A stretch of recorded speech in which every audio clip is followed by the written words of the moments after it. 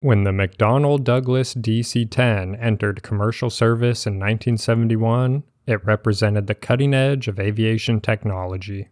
A wide bodied trijet capable of carrying hundreds of passengers across continents, it promised to make air travel more accessible than ever. But the DC 10's four decade service life would be marked by a troubling pattern of accidents that would claim over 1,200 lives and ultimately seal the aircraft's fate. Today, we'll examine the 10 deadliest crashes involving the DC 10, along with other notable incidents that shaped aviation safety regulations.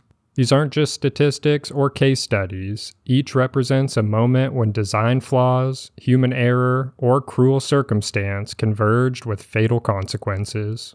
And while some of these stories end in complete devastation, others remind us of remarkable heroism and the resilience of those who refused to give up when everything went wrong.